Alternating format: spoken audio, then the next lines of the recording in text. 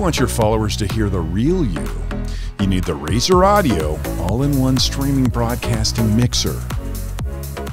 We're review to you. We review the latest and greatest products, and when we're done, we give them away free to one lucky subscriber. We'll let you know at the end of this video how you can easily win this product. Let's take a closer look at the Razer Audio Mixer.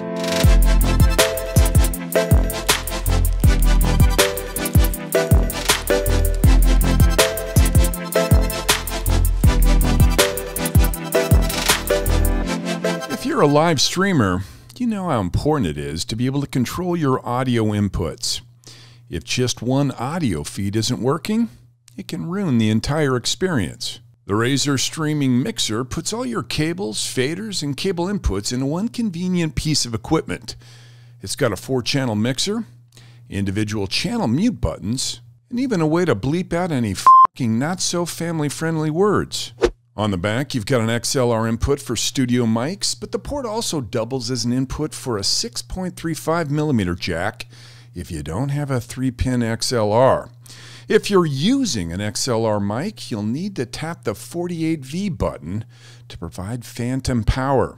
The inbuilt ultra clean, low noise gain preamp can boost from 12 decibels to 39.7 decibels. There's also aux inputs and line outs, as well as an optical input for console or PC audio. Finally, power and connectivity comes courtesy of the USB C cable. The headphone jack can also be used as a monitor, so you can hear your microphone levels compared to your gameplay. Download the required Razer Synapse app, and you've got some access to some really cool audio control features. Here, you're able to apply EQ settings, apply sound effects to your audio, and even completely change your voice. Configuring everything takes some time, but once you're set up, you'll be streaming in no time. So, what do we like about the Razer Audio all in one streaming broadcasting mixer?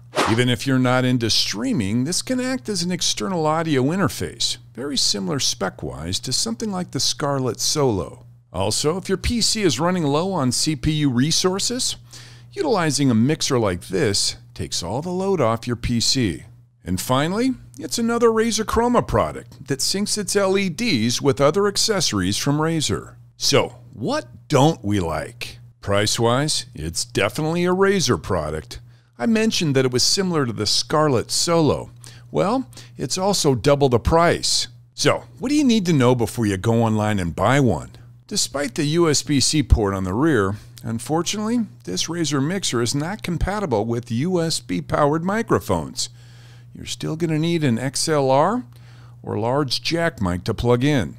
And the mixer requires Razer Synapse and Microsoft Windows 10 and above to work. It is not compatible with Mac OS.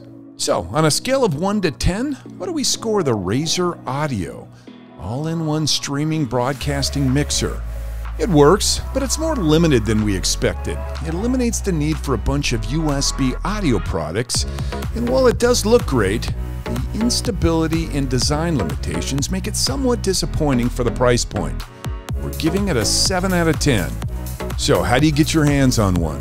Well, you've got two options really. You can follow our purchase link that we've included in the description below and up in the top right and pick one up for only $249.99. Or you could enter the Review to You drawing and try to win ours for free. If you want to win one all for yourself, the rules are very simple. Make sure you subscribe to the channel, like this video, and then leave a comment with the hashtag we showed you in today's video. We then use a highly sophisticated random selector to choose our winner. The winner will be announced right here on the channel exactly a week from now. This has been Review to You, where the only thing we love more than amazing gadgets is giving them away for free to you. Make sure to click that link up on the right to see our current review and giveaways, and then hit that link on the left to subscribe if you haven't already. From Matt and Gary, see you next time.